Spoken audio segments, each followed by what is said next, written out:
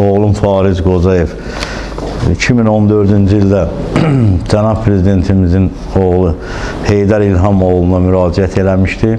2006-cı ayda Gəncə şəhərinin icra başçısı Elmar Vəliyev Elmar Vəliyev bizə telefon açaraq bizi dəvət etdi icra hakimiyyətinə.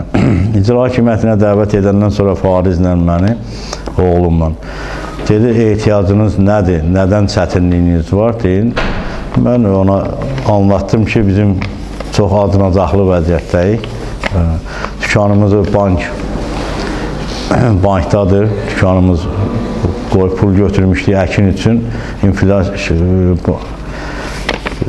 çətinliyə düşdük, ödəyə bilmədik. Dövlət bank aldı bizim əlimizdən. Faizin problemi anadan olanda qüsurlu olmuşdu. 1995-ci ildə anadan olanda qüsurlu olmuşdu. Eşitmə, danışma qabiliyyəti çox zəif idi.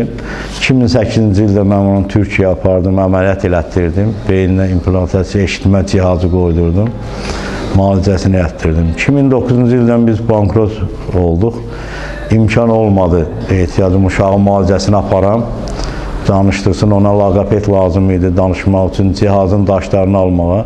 İmkanımız olmadı. Biz evimizdə satmışdıq, kirədə yaşayırdıq. Yelmar Vəliyev bizi qəbul edəndən sonra dedi ki, hər ehtiyacınızı ödəyəcəm. Oğlunun Türkiyədə təhsil olmaq 5000 2 illiyini birdən ödəyəcəm. Yanımda Şəfiyev Rafiq müavini oradaydı. Hüquqşünas Xəqani müəllim oradaydı. Onların yanında söz verir ki, 2 illiyini ödəyəcəm Hafiz, narahat olma, sizə tam dəstək verəcəm, kömək eləyəcəm. Amma o heç birini eləmədi. Yalnız oğlum Elvin Qocayevin 1 illik təhsil haqqını ödədi və mənim də Heydər Əliyev mərkəzinə mühafizə rəisini təyin etməsinə söz verdi, sizi evlə təmin edəcəm. Amma heç birini etmədi. Sonradan mən dəfələrlə ona müraciət elədim ki, və biz elədiyiniz heç bir söz verdiyinizi eləmədiniz. O mənə qayıt ki, aşağıda bəy verən atın dişinə baxmazlar. Sana torpaq verdim, get götür 4 sol. Niyə götürmüsən? Mən ona dedim ki, cənab başçı, mən İrəmənin üzündə torpağı neyin edirəm, nə ilə tikəcəm?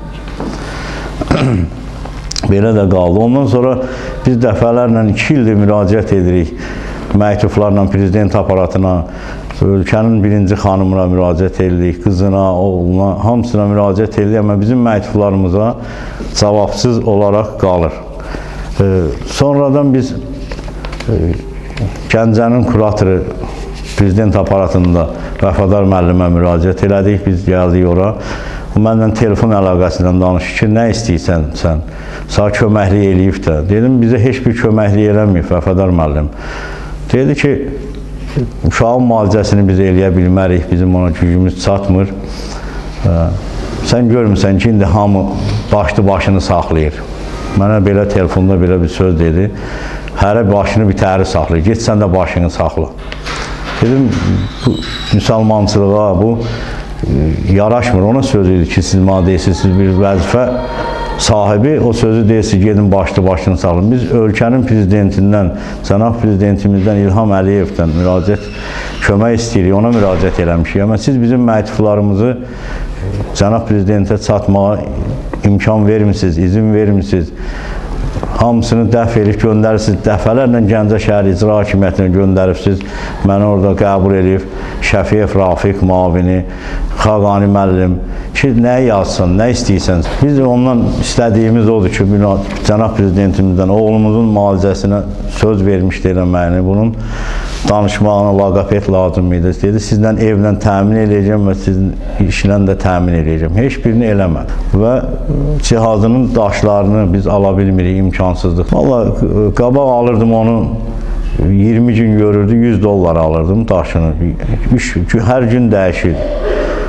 İndi imkansızlıqdan ala bilmədim. Müalicəsinə mən əməliyyat elətdirəndən sonra dedi ki, bunu davamlı laqapet lazım ki, danışdırsın. Yəni o laqapetə lazımdır ki, aylıq pulunu verəsiniz. Ondan sonra müalicəsinin davamı da nervi ilə tam müalicə olunsun, masajları olunmalıdır. Belə bilmirəm indi o müalicəsinə nə qədər lazımdır. Ki, cənab prezident bizi anlayar, başa düşər. Yəqin ki, bizə çox humanist addım göstərmiş ki, Gəncə şəhərin başçısı bizim e, yəni əskilərimizlə e, bizə yardım etsin, kömək olsun, o da etmədi.